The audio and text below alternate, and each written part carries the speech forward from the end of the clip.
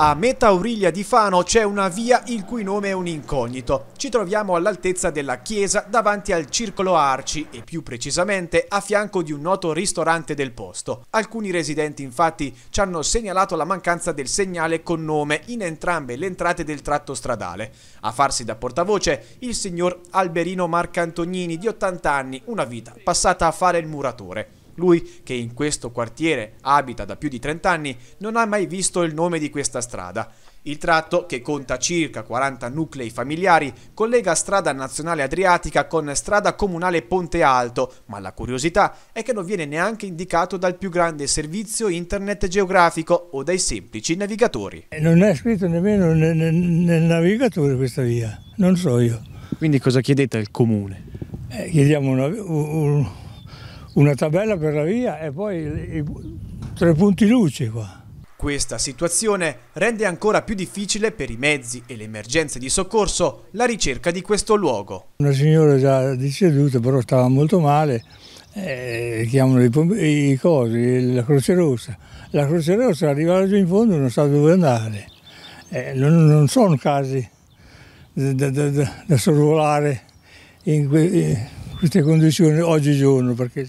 Quindi voi siete dovuti arrivare in fondo alla via? Sì, in fondo alla via dicendo che l'ammalato stava in questa, in questa zona. Stessa situazione anche con i vigili del fuoco? Con i vigili del fuoco, tre mesi fa ha preso fuoco una cappa del camino, che poi quelle non, so, non si sa come sono fatte, eh, non riusciva a spegnere, ha chiamato i pompieri, i pompieri hanno dovuto venire a prendere io qui dicendo che in cima c'è un'altra via che andava giù e dopo l'hanno trovato, ma è così, eh, siamo abbandonati da tutto. Facciamo un altro appello al comune di mettere su il famoso cartello.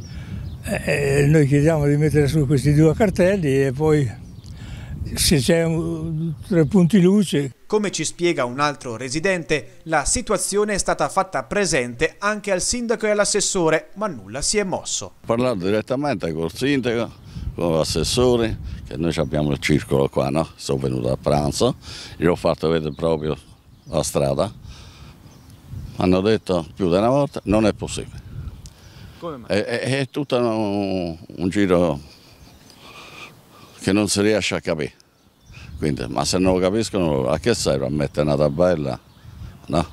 Lassù Monte Schiantello, strade sperdute c'è la tabella, niente. Ormai è perso di speranza, capito?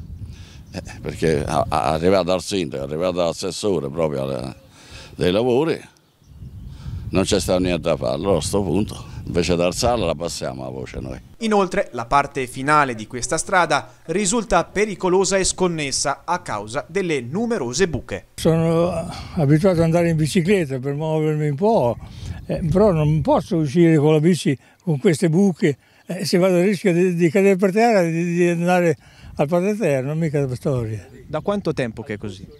Ah, è sempre così perché qui non, essendo la via, non puoi andare nemmeno in comune a dire quella via eh, ci sono buche, ci, eh, non vengono mai a, a, a rattopparle.